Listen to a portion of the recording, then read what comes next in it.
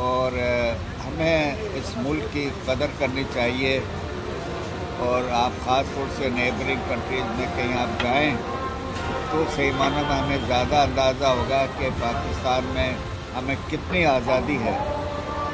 तो हमें इस मुल्क की ना सिर्फ़ इज़्ज़त करनी चाहिए, बल्कि इसको मज़ीद मज़बूत बनाने के सिलसिले में अपना अपना रोल अदा करना चाहिए।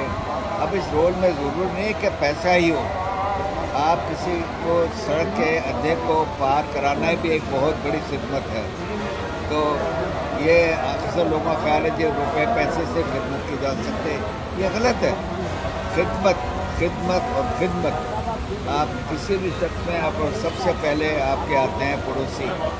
लोग बाग बहुत दफ़ा देखा इंक्लूडिंग माई सेल्फ एक दफ़ा सरकारी डिपार्टमेंट से मेरे मुतालिक कोई इंक्वायरी आई थी रजिस्ट्रेशन के सिलसिले में। तो पहले अपने आसपास के जो दो नाजुआत में रहता था, कि ज़रा बुला लें या कौन कौन है?